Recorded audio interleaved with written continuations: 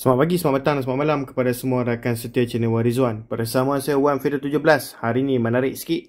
Kita nak tengok sebasic-basic spek jet rod yang selalu kita dapat. Eh. Okay, selalu kita dapat untuk customer-customer yang secara mula-mula ha, okay, baru nak berjinak dengan dunia cup cross untuk Honda EFI Dream. Okay, mana-mana enjin Honda EFI Dream.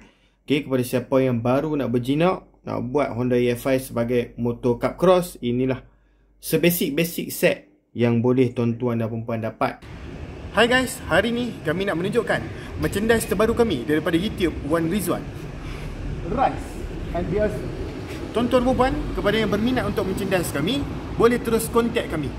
Support daripada tuan-tuan perempuan akan menyebabkan kami lebih bersemangat untuk memproducekan video-video baru di dalam YouTube channel kami. Okay? So tuan-tuan perempuan, Jangan lupa juga okay, uh, Untuk stay tune YouTube channel kami Kerana banyak lagi giveaway yang kita akan buat pada masa hadapan. Jom kita tengok video kita selepas ini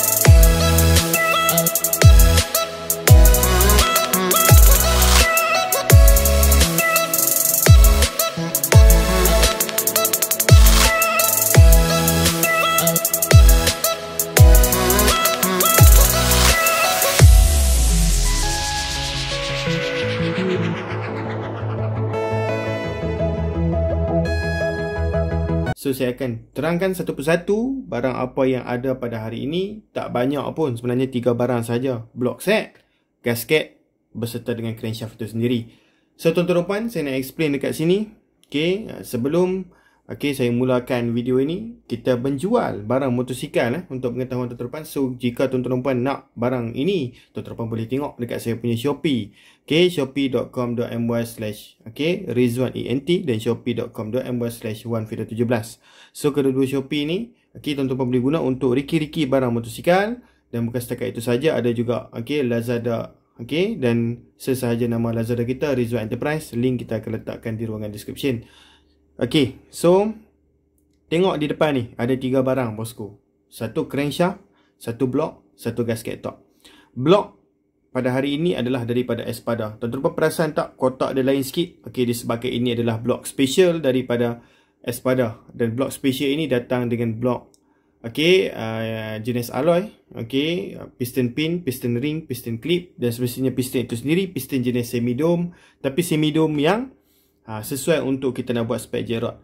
Okey, so jet rod ni sebenarnya tuan-tuan kena faham, okey, ha, panjang stroke yang lebih lah daripada asal. Macam dalam uh, video, dalam video kita pada hari ini, crankshaft ini adalah crankshaft untuk Honda EFI Dream. Okey, so maksudnya shaft sebelah kiri dan kanan ni, kedua-dua ni, kiri dan kanan ni adalah untuk EFI Dream. Memang khas untuk EFI Dream, bukan Wave 125 Modified Dream. Ah. Yang ni memang untuk EFI Dream, so 100% standard. Okey, masuk tak perlu tukar crankcase sana sini, tak perlu eh. Terus masuk sahaja. Ini adalah jet 3mm, diameter 93mm. Okey, 93 diameter dia punya kita panggil sebagai besar labu dia. Ha, okey. So jet 3mm total 6mm, okey dan untuk Fire Dream dan dia punya uh, dia punya crankshaft dia sekali dengan ni eh. Uh, dia punya bahagian magnet ni, okey. So saya akan tunjuk dengan lebih detail sekejap lagi. Okey. So jom kita tengok blok dia dulu. Okay, so block untuk dalam video ni kita ada saiz 56. Jangan risau tuan-tuan, saiz 53 pun kita ada. Ha, tapi sebenarnya cup cross kita main big piston sebab kita nak power. So 56mm yang kita nampak di sini, kalau tuan-tuan perasan tengok dia punya pocket valve. Pocket valve dia dalam dah bosku. Dia dah buat dalam dah. Okay, jom kita tengok. Ha, saya ni suka tunjuk dengan clear supaya tuan-tuan boleh tengok. Ha. Okay, dan piston dia, piston jenis high compression. Eh. Ha, bukan piston biasa. Piston high compress. So kalau saya tengok daripada tepi. Memang tinggi piston dia. Memang sangat puas hati. Datang pula. Eh. Tengok bayangkan. Ini piston saiz 56mm. Tengok dia punya pocket valve in. Pocket valve X dia. Sangat besar. Dan pocket valve ini boleh support sehingga okay, head size 2428 tanpa perlu korek. Ha, tanpa perlu korek. Depends on cam apa yang tuan-tuan pakai. Tapi sebenarnya kalau pakai low cam memang confirm takkan kena. Okay, kita main cup cross ni kita akan pakai low cam ya bosku. Memang confirm takkan kena. Okay, so kalau bos pakai head size 2327 ataupun 2428, confirm boleh masuk freely dengan okay, dengan uh, terus masuk saja tak perlu dah nak pergi hantar untuk pergi polish ataupun pergi besarkan lubang uh, piston. So tak perlu pergi polish juga eh. Tak perlu pergi polish piston. Okay. Takut ketat ke apa ke. Tak perlu. Okay. Itu yang bagus dia. Okay. Dan ini adalah blok original. Mesti akan ada marking. Kita hanya jual barang original sahaja. Espada original. Piston pun ada marking Espada. Dan saya akan keluarkan piston sekejap lagi. Okay. Untuk tunjukkan kepada tuan-tuan. So ini adalah barang yang pertama. Okay, boleh nampak dia punya piston, piston jenis high compression, peh dia punya tinggi dia tu memang shock. Kita main compression, main pick up untuk cup cross. Itu adalah barang yang pertama. Okay. So barang yang kedua. So crankshaft dia ini ya. Okay, ini adalah crankshaft dia macam saya mention tadi, ini adalah bukan wave 125 modified dream. Ini hanyalah okay crankshaft dream yang betul-betul 100% dream eh. Okay, so ini adalah uh, dia punya crankshaft dia. Okay, uh, nampak eh. So dia tak ada tanam ladung tapi dia punya diameter dia dah besar dan lebih berat lah. Diameter 93mm. Crankshaft ini jack rod 3M total 6M dan ini adalah physical dia. Brand Hyper King eh. Okay, mesti dia akan tulis eh dia punya batang rod eh. Okay, so saya akan fokus. Ha, boleh nampak eh. Okay, so GF6 dia punya ha, okay, dia punya rod eh. Dan ini adalah dia punya bahagian shaft apa yang saya suka sangat adalah dia punya detailing. Detailing dia sangat sangat bagus. Okay, saya akan zoom. So detailing. Okay, boleh kita tengok dia punya shaft dia punya. Okay, trip. Sangat cantik ya. Dan sangat tahan. Itu yang bagus daripada Hyper King. Kalau original, saya rasa memang sangat puas hati ya. Okay, dia punya trip dia apa semua memang sangat cantik. So, dia datang sekali dengan magnet key ataupun draft key. Okay, sebab ada certain crankshaft yang memang tak datang. So, dia datang sekali. Ha, okay, so ini kalau buat cup cross lah, memang no problem lah. Okay, so sebenarnya uh, cup cross ni kita tukar lagi sekali dengan dia punya magnet. Magnet racing punya, magnet jenis kecil untuk make cross, power, ringan. Okay, tapi untuk kali ni kita tak ada. Jadi, untuk mengetahui tuan-tuan perempuan juga, okay, dia crankshaft ni dia datang sekali dengan oil pump shaft racing. Eh. Yang ni oil pump shaft tau, bukan oil pump. Eh oil pump saya tahu tuan-tuan puan tahu bentuk oil pump macam mana tapi ini adalah oil pump shaft oil pump shaft ni adalah batang dia lah batang oil pump racing punya bosku so dia datang sekali bearing juga kiri kanan itu yang best lah bearing kiri kanan ok dalam gambar tunjuk tak ada bearing tapi dia datang sekali bearing kiri kanan ha, ok dah jimat dah dekat sini ha, bearing kiri kanan eh. Dia dah sekali dan crankshaft dia memang cantik eh. ok so ini block crankshaft dan macam biasa gasket lah. Gasket ni perkara biasa. Okay, kenapa saya bagi gasket ni saja saya tak bagi gasket tebal? Jawapannya ialah walaupun ini adalah crankshaft jet 3, okay, uh, disebabkan uh, setting piston, okay, uh, dan juga kombinasi ni hanya perlukan gasket skeping sahaja. Tak perlu gasket tebal-tebal. Itu yang bagus ya bosku. Ha, okay. So, saya nak beritahu dekat sini, ini adalah paling basic sekali. Tak ada CDI, tak ada head, tak ada coil, apa barang pun tak ada. Cuma ini adalah basic, sangat-sangat basic. Okay. So, kalau tuan-tuan nak pasang, Okay, kepada head standard pun boleh. Head 2327 boleh. Head 2428 boleh. Kalau berminat dengan okay, combo ini. Ha, boleh tengok terus kat kita punya Shopee. Boleh tengok terus dekat kita punya Shopee. Additional information yang saya nak beritahu dekat sini. Eh. Walaupun dia macam setiap tadi PNP terus. Tapi tuan-tuan mesti kena ingat. Saiz 56 mesti kena casing engine. Tetap kena casing engine. Okay. So additional. Ha, okay saya nak mention sekali lagi additional. Saya akan menggunakan caliper untuk kira lubang supaya tuan-tuan boleh agak nanti. Okay lubang uh, okay lubang uh, pocket valve dan juga berserta sekali dengan slip belakang. Okay, ini bonus kepada tuan-tuan eh. Okay, so ini saya punya digital punya caliper. Okay, so ini adalah bahagian pocket valve eh. Okay. So bahagian pocket valve dia kalau tuan-tuan boleh lihat kat sini. Okay. Di sebelah Okey, di sebelah ada satu bahagian yang lebih uh, ni lah, lebih besar. Okey, so saya akan menggunakan caliper.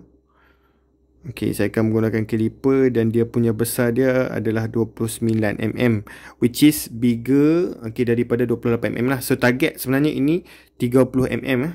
Okey, di mana yang di sebelah ni pula dia kecil sikit. Okey, di mana dia 27 lah. So kalau nak masuk vase saya 24 tu Allah lepas. Okey.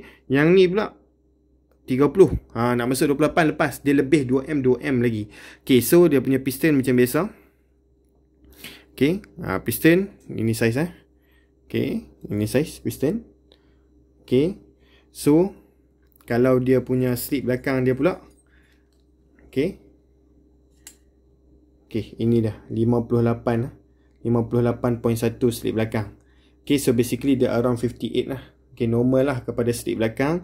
Kalau size dia, okay, 58, 57.9, 58.1 lah. Plus minus.